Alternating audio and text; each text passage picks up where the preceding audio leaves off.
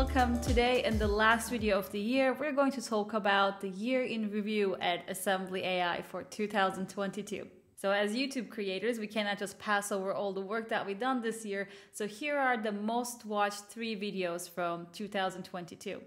Number one is getting started with Hugging Face in 15 minutes. In this video, we talk about how you can use Hugging Face's amazing models in just 15 minutes. On the second place is how does DALL-E 2 actually work? We actually published this video on the same week or the week after DALL-E 2 was launched or announced and it was received with a lot of excitement that which made us really happy. And the last video that did really well this year was diffusion models explained in four difficulty levels. And we decided to make this video after we realized that many models that came out this year are using diffusion models as a basis. So it only makes sense to learn about them and make sure that everyone has a reliable resource in front of them to understand how these strong models are made. On the short side, though, we had two videos that were specifically liked by a lot of people. One of them is called How to Use OpenAI API in Python in 45 seconds, and the second one was our comparison video between deep learning and traditional machine learning. All right, so let's talk about some other general news and exciting stuff that happened this year. First of all, we grew our team. I think when I started, we were like 20 people, and now we are more than 60, which was super exciting to see. Then we had not one, but two funding rounds this year. We raised $28 million in Series A and 30 million in Series B, which now gives us a lot of runway to accelerate our product roadmap, build out our AI infrastructure, and grow our our research team and all other teams, of course. Then we launched our Assembly AI Playground, where we can test all our AI models for free. So you can simply paste in a YouTube link, like for this video, and then can turn on transcription, summarization, and all other AI models. So you can go to assemblyai.com slash playground and try it yourself. Then, and this is a really cool one for me, we launched the Assembly AI Creators Program, a community of other creators in the AI space who grow together, talk about AI news, and create content to help other developers work with our APIs.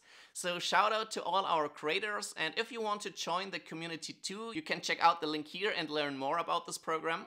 Then we also hosted our very first hackathon, the AI Winter Hackathon in December with more than 440 participants from 84 different countries. So we had a lot of fun on this weekend and it was amazing to see what everyone could build in just two days. Hopefully we will host another one next year, so stay tuned. And then we also had different team offsites where we could meet our team members for the first time in person.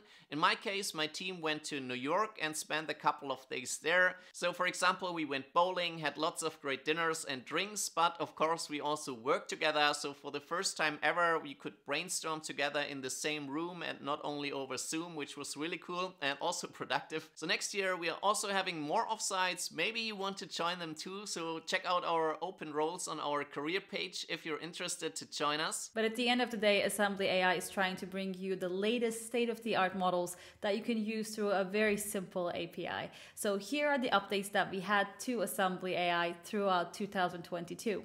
One of the biggest highlights was our improved transcription model. It is our most accurate transcription model to date.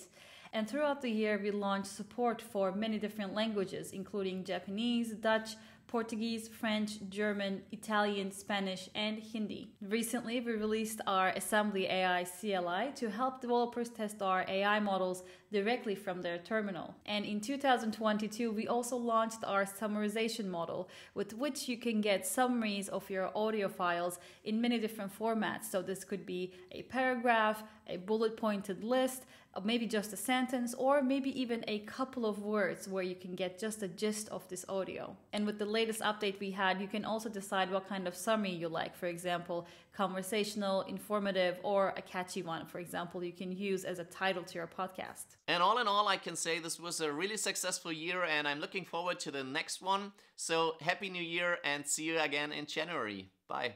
Thank you for following us and being part of the Assembly AI YouTube family so far. We are looking forward to bringing you more informative and exciting content in 2023. Happy New Year!